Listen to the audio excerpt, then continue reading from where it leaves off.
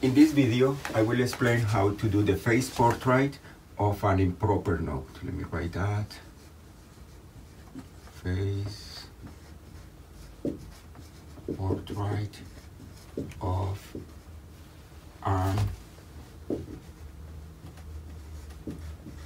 improper node. Let me see, we have a linear system. We're considering a linear system like dx dt equal ax plus by um, dy dt equals cx plus dy and the matrix of the system is the matrix a b c d and one observation is that to have an improper node, we are assuming that this matrix is not diagonal. That means that either b is different from zero or c is different from zero.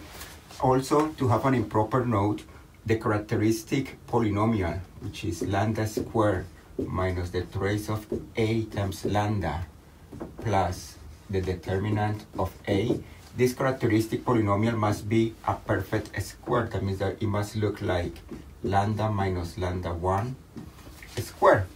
And with this observation, we have that in an improper node, the two eigenvalues of the matrix lambda 1 equal to lambda 2. We have only two, only one eigenvalue. Uh, we're going to assume that this is different from zero. Then uh, we have two cases. Uh, let me see. Um, let's do the first case. Let's suppose that lambda 1 equal lambda 2 is bigger than 0. In this case, we call that case, we call it an unstable unstable improper node. And in order to do the phase portrait, um, we find the eigenvector. To find the eigenvector, we solve this system. A minus lambda 1 times x plus by equals 0 and cx plus d minus lambda 1y equals 0 we can find a non-zero solution of this and let's suppose that that non-zero solution is the vector v1 v2 then with that eigenvector we can as in the other cases we can start doing the the phase portrait we draw 0 0 and then we draw this uh, this line using the vector v1, v2. Let's say this, this is the point v1, v2.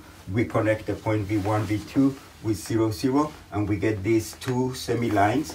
Each semi-line is an orbit, and since we are assuming that lambda 1 is bigger than 0, then we do, we do the arrows going out. The other thing that we need to do is we need to consider the matrix A minus lambda times the identity.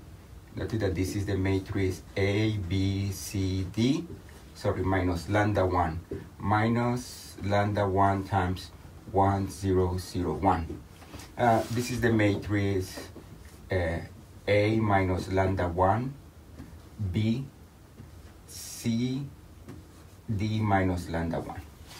With this matrix, what we do is we pick a point that is not in this semi-line. Let's take this point, P. And then this point P, let's say, is something like P1, P2. Using that point, we multiply the matrix A minus lambda 1, the identity, which is the matrix, we multiply by P1, P2. And then we get a vector that we're going to call V1. Then we draw the vector v1. Let's suppose that the vector is something like this.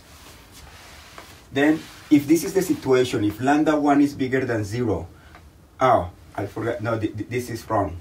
Because our vector v1, you can prove mathematically that that vector v1 is parallel to this vector, to this eigenvector. Then this vector is going to be either like this or it's going to be like that. It's going to be parallel. You can prove that mathematically. And then let's assume that the first case, let's assume that that vector is parallel and is parallel to this, it has this direction. Then, um, since lambda 1 is bigger than 0, uh, the, the other orbits are like this. They look like a, they have the form of a J, of a letter J, but not a capital J actually, like a, like a J like this. Let me draw the J better. It looks like this. It's something like, it's something like that. And in this case, um, since lambda 1 is bigger than 0, then the orbit is going to be almost tangent to this line here. This is like this part of the J. And it goes through this point. This is over here. It will go like this. And it will go through that point and eventually it will become almost parallel to this. Notice that this vector is not the vector field associated with the differential equation. The orbit doesn't have to be tangent to that vector. But, but this vector is telling us that eventually this letter J is going to is going to go forever, but it's going to become almost parallel to this to this vector. If you want to do another orbit, it will look like this. And in this half plane, the orbits they will go like like this. Then this is the improper node when when lambda 1 is bigger than 0 that means that when the this equilibrium point is unstable Let, let's do the other case the other case is, is very similar but let's assume now that lambda 1 is smaller than 0 then we call that a stable improper node we find the eigenvector, we draw the lines, but since lambda 1 is bigger than 0, then those arrows, they go toward the origin. So here, these arrows, they go toward,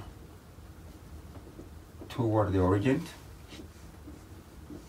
And then we pick a point, we pick a point, and we compute in the same way we do A minus lambda 1 times the identity, we have this matrix, we multiply by, by this point, and we get a vector. Let's suppose that I have this vector is parallel to this line. Then let's suppose that the vector goes like this. If the vector goes like that, uh, that means that near the origin, we have an orbit that looks like a, a J, but in this, time in this time, since lambda 1 is smaller than zero, then the orbit is going to look like this.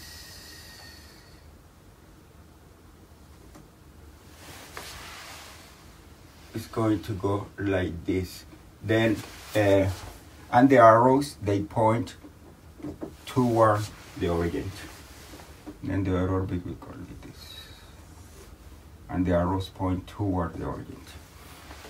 Notice that uh, this vector is not tangent to the curve because it's not the vector field associated with the system, but it, somehow tells us uh, the direction of the orbit. Uh, in this case, since lambda 1 is smaller than 0, then the orbits, they go toward the origin, and then at this point, they are going toward, toward the origin. We have this.